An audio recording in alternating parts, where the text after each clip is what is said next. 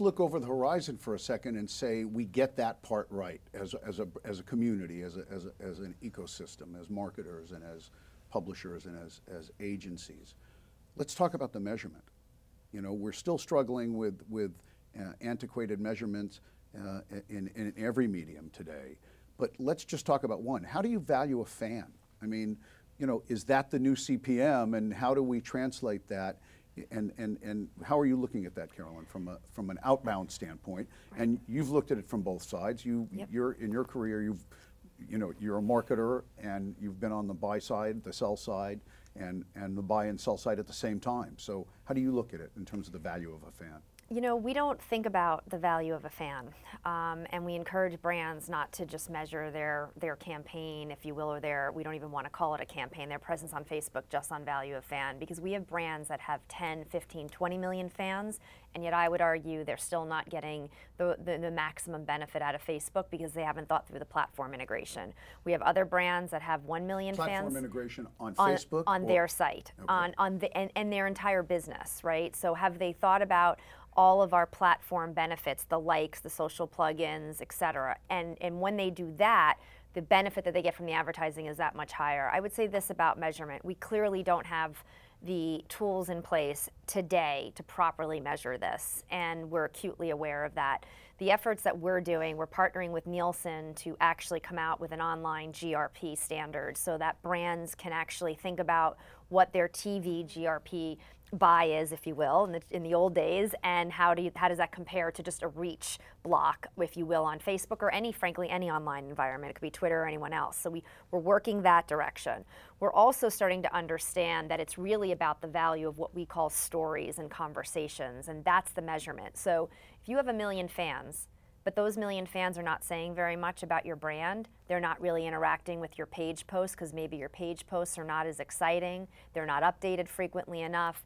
If, if you just have a million fans and you stop there at the measurement, you're missing the whole point really it's about what are those million fans doing for you? What are they talking about? How many stories are they generating? Because every time they generate something, it feeds the ecosystem. So if I'm a fan of Volkswagen and I go for a test drive and I have an awesome experience and I talk about that in my Facebook environment, that goes to my friends.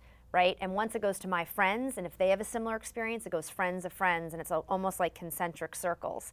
That's what we should be measuring, not have you ticked the box and gotten X number of fans. I think it's funny to hear you say that one way. Um, I think partly because one of the things I like about Facebook is if you want to look at it from a pure measurement of old-fashioned metrics, well, how many people did this and then this and then this, Facebook is brilliant at being able to say, 25 people clicked on your ad, and out of those 25 people, another 15 of their friends clicked on your ad.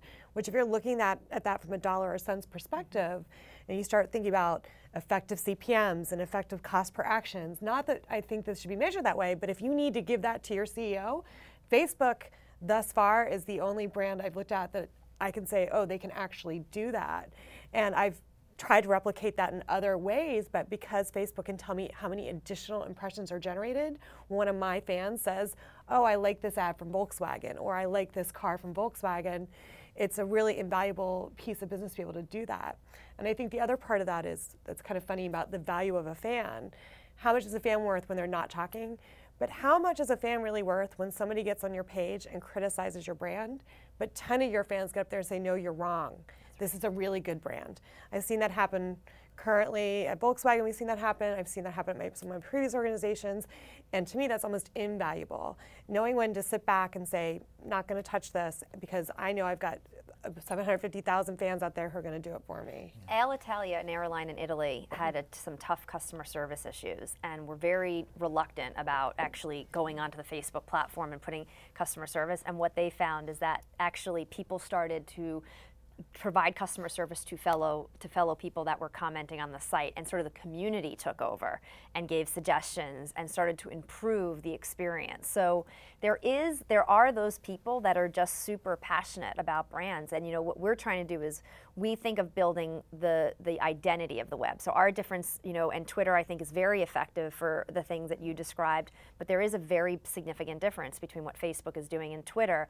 What we're trying to do is map people's true identity and, and, and map it with their profile information, their places they're interested in, the brands they're interested in, so that when Sara wants to communicate, she actually knows who she's communicating with. These are people that have identified themselves, have given, have shared information about what their likes are, and that's a very personalized environment, which is different a bit than Twitter, where people have more screen names and things that we had, you know, even when AOL started.